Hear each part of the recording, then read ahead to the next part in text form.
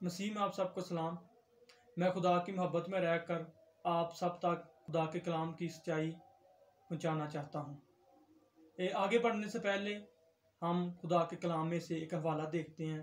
हिजकेल तीसरा बाप उसकी अठारहवीं आयत। खुदा के पाक कलाम में यूँ मरकूम है, जब मैं शरीर से कहूँ कि तू यकीनन मरेगा और तू उसे आगाह ना करे और शरीर से ना कहे कि वो अपनी बुरी रवत से खबरदार हो ताकि वो उससे बाज आकर अपनी जान बचाए तो वो शरीर अपनी शरारत में मरेगा। लेकिन मैं उसके खून की बाज पुर तुझसे करूँगा। खुदा के पाकलाम के पढ़े और सुनने पर, खुदा उनकी बरकत हो। आमीन। अब बाइबल में इधर लिखा हुआ है कि अगर एक शरीर है, अगर उस तक मैं खुदा का कलाम नहीं पहुंचाता तो उसका कसूरवार मैं हूँ। अगर मैं खुदा के कलाम की सच्चाई आप तक नहीं पहुंचाता तो उसका कसूरवार मैं हूँ। और अगर खुदा की सच्चाई आप तक पहुँच रही है अगर आप उसको कबूल नहीं करते तो इस, उसके कसूरवार आप हैं। इसलिए मैं खुदा का कसूरवार बनना नहीं चाहता। इसलिए मैं आप सब तक खुदा के कलाम की सच्चाई पहुंचाना चाहता हूँ। और आज एक गलत तलीम के बारे में हम बात करेंगे जे, बात करेंगे, जो पैसे की खुशखबरी के साथ मिलती जुलती है। यानी कि इसका पैसे की खुशखबरी के साथ बहुत गहरा तल्लक है। दौरे हाजर का मसला ये है कि ये तलीम बहुत जल्द फैल रही है और जो झूठे खादमीन हैं इस तलीम को फैला रहे हैं और जो लोग हैं वो भी इस तलीम को कबूल कर रहे हैं। ये बहुत जल्दी ये काम हो रहा है। और आज की इस तलीम का नाम है कि मसीही छोटे खुदा हैं और उनके अल्फाज में कुदरत पाई जाती है और वो जो कहते हैं वो चीज़ें बन जाती हैं। ये जो तलीम है, ये न्यू एज की तलीम है। न्यू एज कहता है कि आप अपनी ज़ुबान से जो कुछ कहते हैं, जो कुछ बोलते हैं, आपके लिए वैसा होता है। आपके लिए चीज़ें बनती हैं, आपके हालात बदलते हैं, आपके लिए वैसा होता है जैसा आप कहते हैं। इसलिए वो कहते हैं कि मुस्बत सोचें, अपने लिए अच्छा अच्छा सोचें तो आपके लिए अच्छा होगा। अगर आप अपने ज़ुबान से गलत अल्फाज निकालेंगे तो आपके लिए गलत होगा। इसलिए वो कहते हैं कि आप अच्छा बोलें अपने बारे में अच्छी सोच रखें अच्छी बातें करें तो आपके लिए अच्छा होगा और आपके जो हालात हैं वो बेहतर हो जाएँगे। ए, आए हम देखते हैं कि ये झूठे खादमीन किन हवालों को लेकर खुदा के कलाम को गलत पेश करते हैं। और हम मैं इसकी कोशिश करूँगा सही से तशरी करने की खुदावन के फजल से। ए, पहला वाला जो है वो है यकूब का खाता है, उसका तीसरा बाब है, और उसकी तीसरी आय से छठी आय तक। खुदांग पाकला में यू मरकूम है, जब हम अपने काबू में करने के लिए घोड़ों के मुँह में लगाम देते, दे देते हैं तो उनके सारे बदन को भी घुमा सकते हैं। देखो, जहाज़ भी अगरचे बड़े बड़े होते हैं और तेज हवाओं से चलाए जाते हैं तो भी एक नहाय छोटी सी पतवार के ज़रिया से मांझी की मर्ज़ी के मुआफ़ घुमाए जाते हैं। खुदा के पाकलाम के पढ़े और सुने जान पर खुदाम की बरकत हो। आमीन।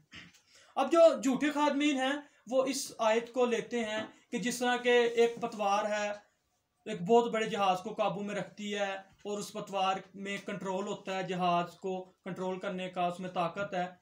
इस तरह वो कहते हैं कि आपकी ज़ुबान में कंट्रोल है, कि आप जो कहते हैं अपनी ज़ुबान से, वैसा होता है। अगर आप अपनी ज़ुबान से बुरा कहते हैं अच्छा कहते हैं, वो आपके लिए होगा। क्योंकि वो कहते हैं, आपकी ज़ुबान में कंट्रोल है, आपकी ज़ुबान में ताकत है। अगर आप अपने लिए अच्छा इसलिए तो वो कहते हैं, अपने लिए अच्छा बोलो, ताकि आपके लिए अच्छा हो। जैसा कि हम छठी आयत में लिखा हुआ है इधर लिखा हुआ है छठी आयत में कि इसी तरह ज़ुबान भी एक छोटा सा अजू है और बड़ी शेकी मारती है। देखो, थोड़ी सी आग से कितने बड़े जंगल में आग लग जाती है। अब ज़ुबान भी एक आग है और ज़ुबान हमारे अजाम में शरारत का एक आलम है और सारे जिसम को दाग लगाती और दायरा दुनिया को आग लगा देती है और जहन्नम की आग से जलती रहती है।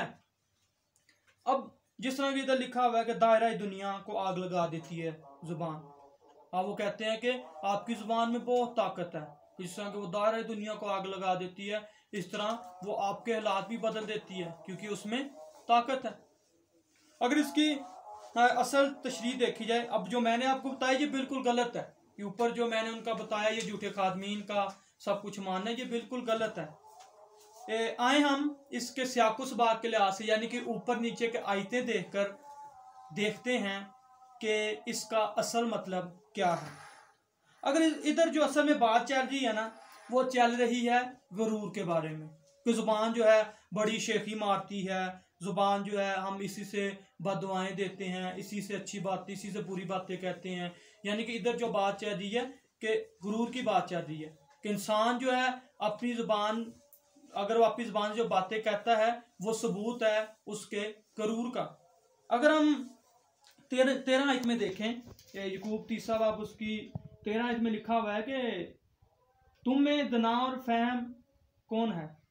जो ऐसा हो, वो अपने कामों को नेक चाल चलन के वसीला से उस हिल्म के साथ ज़ाहिर करे, जो हिकमत से पैदा होता है। अब आप देखें, इधर तेरहवीं याद में जो बात चल रही है, वो हिल्म की बात चल रही है कि हिल्म के साथ रहना है, हिकमत के साथ इधर बात जो चल रही है, वो ये है।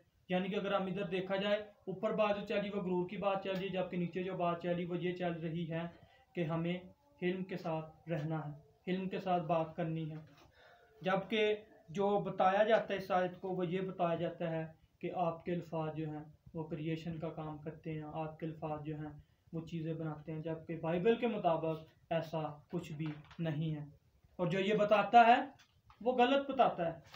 और एक और हवाला है अगर हम देखते हैं खुदांग पाकलाम में से ज़बूर बयासी, उसकी पहली आय खुदांग पाकलाम में यूमरकुम है लिखा हुआ है कि खुदा की जमात में खुदा मौजूद है। वो इलाहों के दरमियान अदालत करता है। अब इस इस सवाले को लिया जाता है जो गलत, झूठे खादमीन है। वो कहते हैं इधर जो इलाहों का जो लफ्स इस्तेमाल हुआ है, वो लफ्स इस्तेमाल हुआ है मसीहियों के लिए। कि जो मसीही हैं, वो छोटे खुदा हैं। इधर इस सवाले को जो बताया जाता है, वो यही है। जबकि ये तलीम बाइबल के मुताबिक नहीं है। जैसा कि मैंने आपको बता दिया कि यह तलीम जो है वो न्यू एज की है। और न्यू एज इस तलीम को फैला रहा है और इसको मसीही जो है, इसको मसीही रंग देकर जो झूठे खादमीन है, मसीही रंग देकर इस तलीम को फैला रहे हैं मसीहत में। अगर हम इसका सियाको सबाक देखें तो इसके सियाको सबाक के लिए हम पूरा जबूर में पढ़ूँगा और खुदा के पातला में ये मरकूम है, जबूर बयासी, के खुदा की जमात में खुदा मौजूद है, वो इलाहों के दरमियान अदालत करता है। तुम कब तक बेइंसाफ़ी से दावत अदालत करोगे और शरीरों की तरफदारी करोगे? गरीब और यतीम का इंसाफ करोगे, तुम गमजादा मुफलस के साथ इंसाफ से पेश आओ। गरीब और मोहताज को बचाओ, शरीरों के हाथ से उनको छुड़ाओ। वो ना तो कुछ जानते हैं और ना समझते हैं। वो अंधेरे में इधर उधर चलते हैं, ज़मीन के सब बुनियादें हिल गई।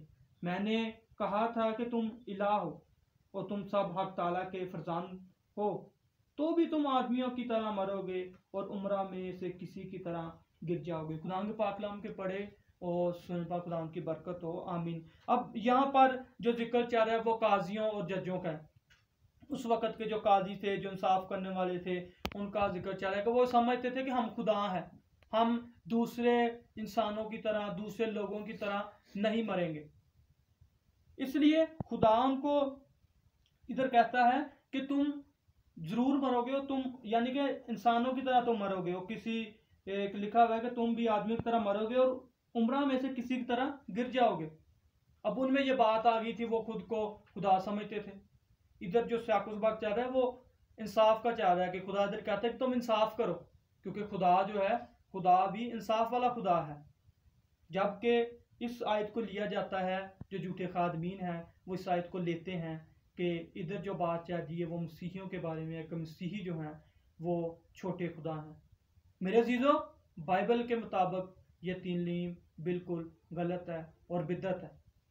और जो इस तलीम को मानता है, वो गुनागार है। वो खुदा का गुनागार है।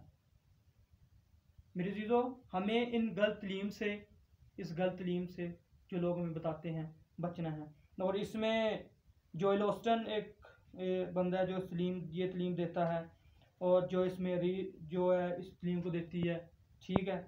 ये खुशखबरी को अलग तरीके से तोड़ मरोड़ कर बताया जाता है कि इंसान को बताया जाता है कि अगर आप मसीह के पास आएँगे तो खुदा आपको ऐसी ताकत देगा मसीह के वसीला से। तो जब के कलाम के मुताबिक ऐसा नहीं है। जो इंसान मसीह के पास आता है, सिर्फ़ खुदा उसको निजात देता है गुनाहों से। ऐसा कुछ भी नहीं है। तो मेरे चीज़ों हमें बाइबल पढ़ने की ज़रूरत है। और मसीह की तरफ़ बढ़ने की ज़रूरत है। आमीन।